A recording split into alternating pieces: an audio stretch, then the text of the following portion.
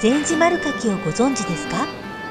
日本で初めて生で食べられた甘柿と言われています。調布市立図書館開館50周年を記念し古橋健一さんによる禅寺丸柿の講演会が行われました。あこんにちは。古橋です。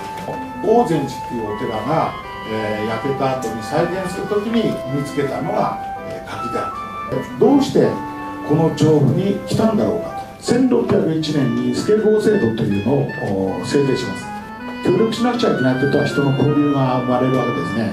3つが1つになって大正に作ったからじゃあ大正寺だって。いう小野寺村っていうのは札塾っていうのがありますね。札道というふうに言われています。え新選組の近藤さんとか稽古一本一本の柿の木に必ずそれぞれの物語があった。とお話ししていたのが印象的でした。